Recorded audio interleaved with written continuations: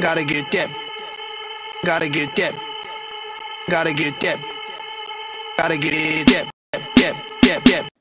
What's going on guys, this is uh, Zegas Clan 1 showing you another glitch. Alright, what you want to do is you want to go here and keep jumping like this next to the astronaut.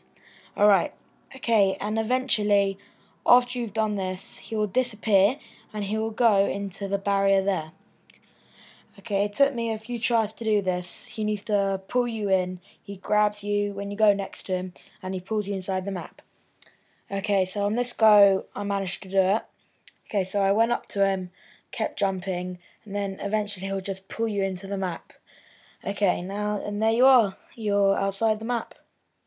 Okay, here I'm just showing you around. And yeah, that's basically it. Thanks.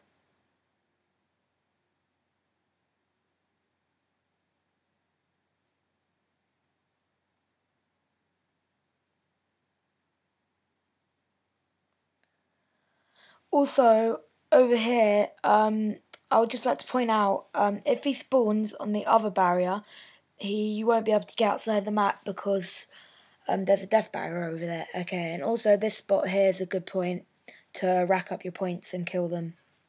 And yeah, thanks for watching and please subscribe.